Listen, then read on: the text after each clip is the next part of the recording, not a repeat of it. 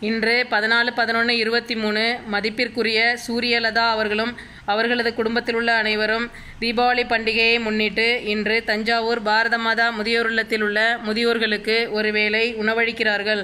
மதிப்பிற்குரிய சூரியலதா அவர்களும் அவர்களது குடும்பத்தில் உள்ள அனைவரும் நீண்ட ஆயுளோடும் நிறைந்த செல்வங்களுடனும் எந்தவித நோய் நொடியுமின்றி பல்லாண்டு காலம் வாழ வேண்டுமென நாங்கள் பிரார்த்தனை செய்து கொள்கிறோம்.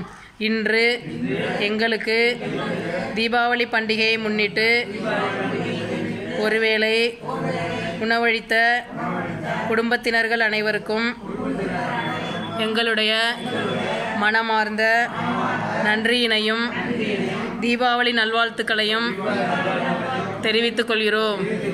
வாழ்க வளமுடன். நன்றி.